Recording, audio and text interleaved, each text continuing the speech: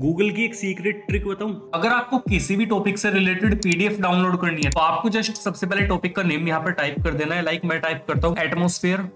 उसके बाद यहाँ पर आपको एक एक्सटेंशन यूज करना है डॉट पीडीएफ इतना टाइप करने के बाद आपको एंटर हिट कर देना है एंड अब जितनी भी लिंक्स आपके सामने आएंगे वो सारे यहाँ पर पीडीएफ लिंक होंगे यानी कि आप उन लिंक्स के ऊपर क्लिक करोगे तो यहाँ पर आपके सामने एक पीडीएफ ओपन हो जाएगी उस टॉपिक से रिलेटेड जो भी आपने सर्च करा है तो ऐसे ही इन्फॉर्मेटिव एंड इंटरेस्टिंग वीडियोज के लिए चैनल को सब्सक्राइब कर लो एंड वीडियो पसंद आई हो तो लाइक और शेयर कर दो